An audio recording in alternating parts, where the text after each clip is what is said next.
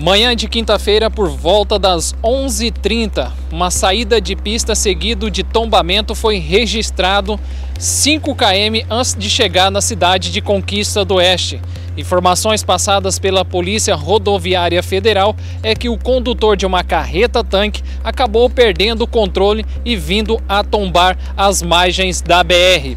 A carreta não estava carregada de combustível, mas estava carregada aí com produtos de glicerina. A ambulância de Conquista do Oeste foi acionada, mas chegando ao local, o motorista recusou o atendimento porque teve pequenas escoriações. Para mais informações, acesse o nosso site canaldiario.com.br.